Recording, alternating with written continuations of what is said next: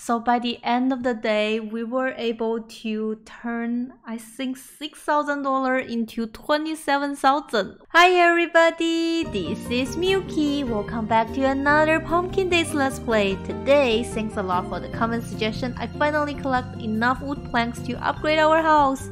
I'm so super excited to have a new house and start decorating it. We probably will need a lot of in-game money, but you know what, let's get started and let's decorate the house together today. Yay, this is awesome! I finally start getting pies from the town people. Thank you, sister.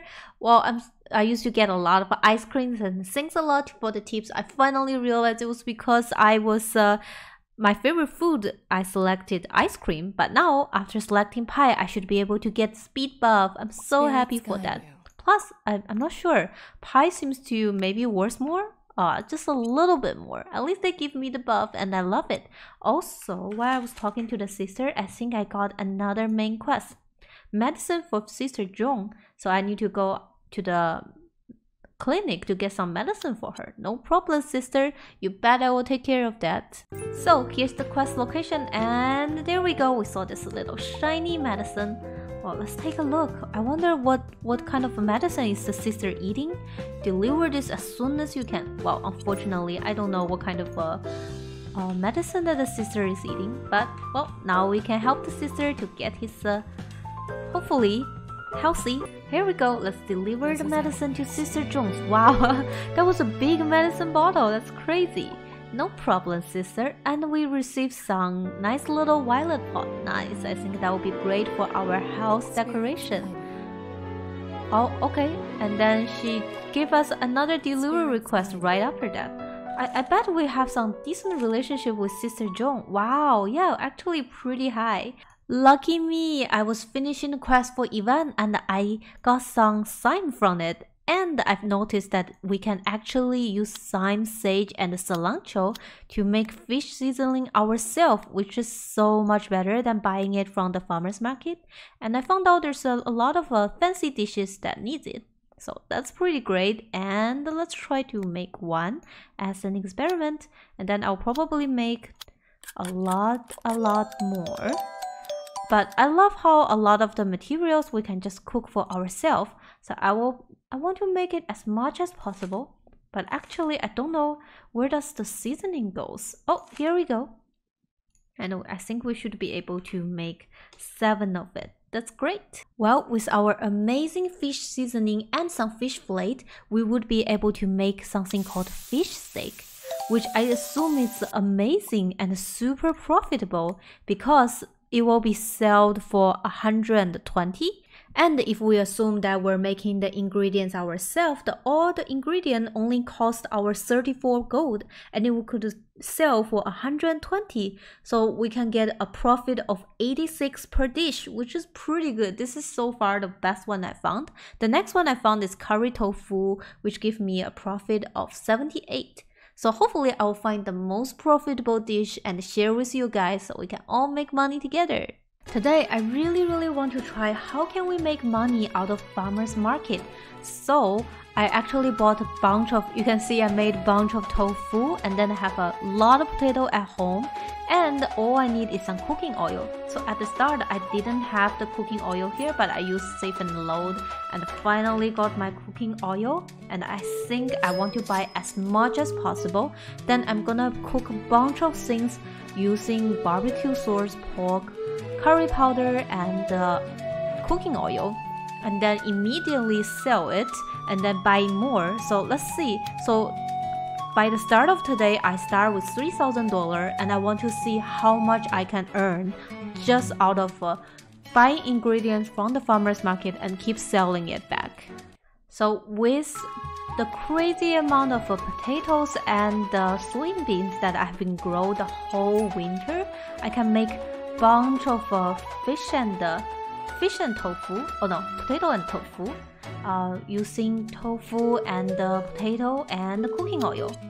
So let's start with that, and uh, I believe it's actually very profitable. So if I use the potato that I grow myself and then the tofu I made myself with the cooking oil that I wasn't able to make myself, um, and I sell it for 120, I will be able to make 83 gold per dish. And then with this amount of uh, potatoes and uh, tofu, let's see how much I can make within a day. Also, I got some extra cash um, from the mail, so I get by the start of the day, I have around $6,000 cash. Well, with the amount of the ingredients I have, uh, mostly constrained by the cooking oil, I'll be able to make 48 chips and tofu.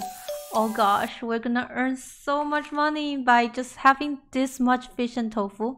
And with my extra tofu, I can make tofu curry. Now here's the great part. I'm going to sell all the dishes that I just made and uh, oh, I'm not sure how much I could get out of this.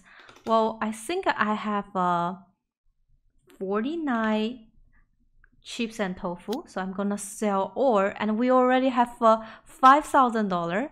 Then I have a curry tofu, 16 of them. I'm going to sell all, sell all, sell all.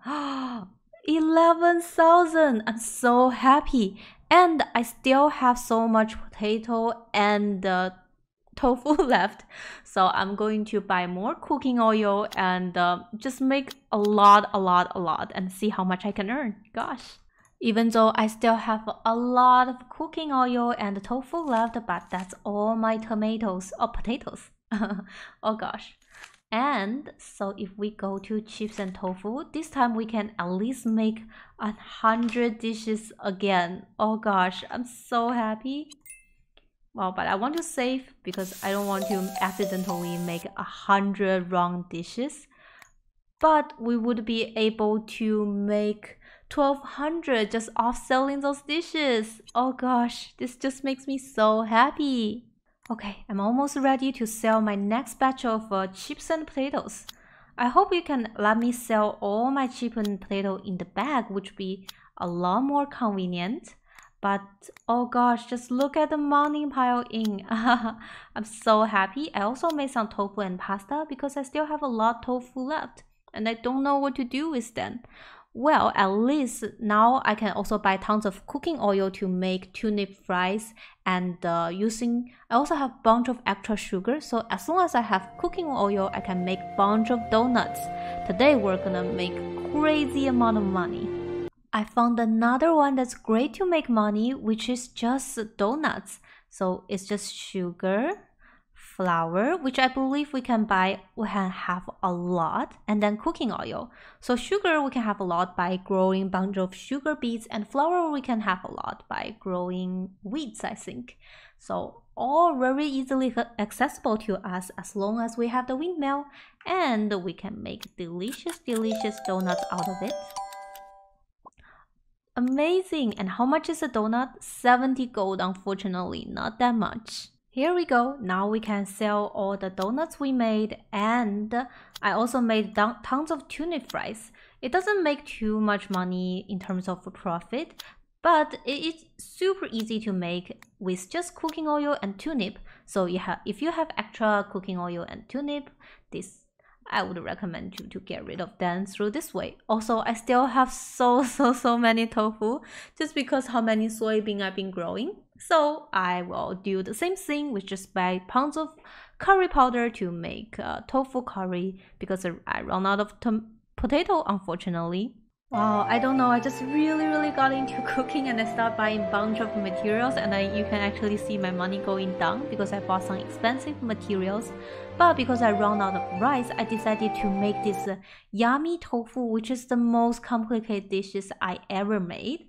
Um, I don't think I ever filled the bar before, so let's see how much it's gonna cost. I actually couldn't find out how much it will cost from the wiki, but only 110 gold? That's so horrible. It's so much worse than the um, than just making the curry tofu, unfortunately. But I run out of rice. Wow, after searching, I think I officially if I wasn't wrong, found the so far the most profitable dish is pumpkin latte. So with a pumpkin latte, well, I do need to buy espresso, which is very, very expensive because we need to buy five grounded coffee to make it, but one pumpkin latte can sell for 450 and I can make 250 per pumpkin latte. That's amazing. So I'm going to save and loud and get bunch of grounded coffee, milk and vanilla so we can sell bunch of pumpkin latte today. Okay, this will be our last sale of the day. I made tons of pumpkin latte and uh, by just selling 20 of them, I already got back to 1,800 and then I have more pumpkin latte, more tofu curry and more curry tofu. so by the end of the day, we were able to turn, I think, $6,000 into 27,000, which is amazing.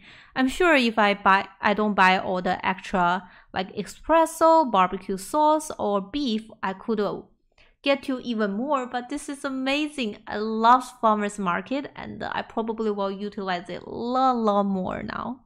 Well, I think that's it for our today's episode where you witness Milky making crazy big bucks.